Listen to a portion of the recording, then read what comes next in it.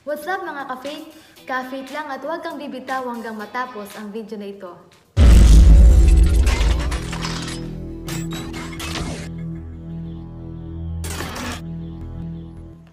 Kumusta ka kapatid?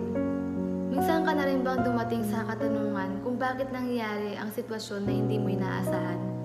Maaring naguguluhan ka sa mga bagay na hindi mo maunawaan.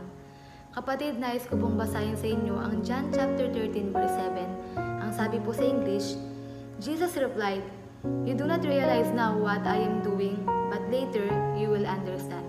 Ang sabi naman po sa mabuting balita, Sumagot si Jesus at sa kanya'y sinabi, Ang ginagawa ko'y hindi mo nalalaman ngayon, datapwat, mauunawa mo pagkatapos.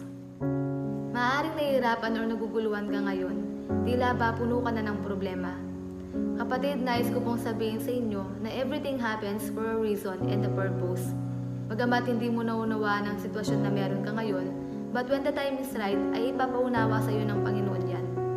Darating ang araw na papasalamatan mo ang Panginoon na sasabihin mo, Lord, thank you dahil dinala mo ako sa sitwasyon na ito.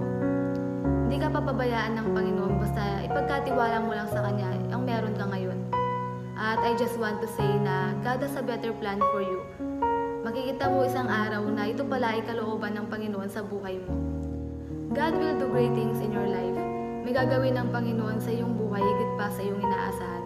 Magtiwala ka lang sa Kanya because He knows everything. Alam niya ang lahat ng bagay na makakabuti sa iyo. Kaya sa orasan nito kapatid, kung ikaw ay nahihirapan, kung ikaw ay naguguluhan, or tila ba hindi mo alam ang iyong gagawin, o hindi mo naunawaan ang mga nangyayari sa iyo ngayon, nais ko pong sabihin sa inyo kapatid na nandyan ang Panginoon para alalayan ka niya sa bagay na yan o sa sitwasyon na meron ka. Kaya tayo po ay manalangin, sabayan niyo po ako. Nagilang Ama na makapangyarihan sa lahat, patuloy na lumalapit kami sa iyong harapan. Ano man po ang sitwasyon na meron kami ngayon ay nilalapit namin sa iyo at pinagkakatiwala namin sa iyo. Bagamat minsan naguguluhan kami, minsan nahihirapan kami, pero pinagkakatiwala namin sa iyo. At alam namin, Panginoon, na may better kang plano sa aming buhay. At bagamat ngayon ay hindi namin naunawaan, pero pagdating ng araw, ay ipapaunawa mo ito sa amin, Panginoon. Maraming salamat sa patuloy na pagsama mo sa amin at sa buong linggo na ito na ginabayan mo kami. Ngayon pa lamang, Panginoon, ay inaangkin na po namin ang katagumpayan sa pangalan ni Jesus. Amen. Yun lamang mga ka-faith, salamat at hindi ka bumitaw hanggang matapos ang video na ito.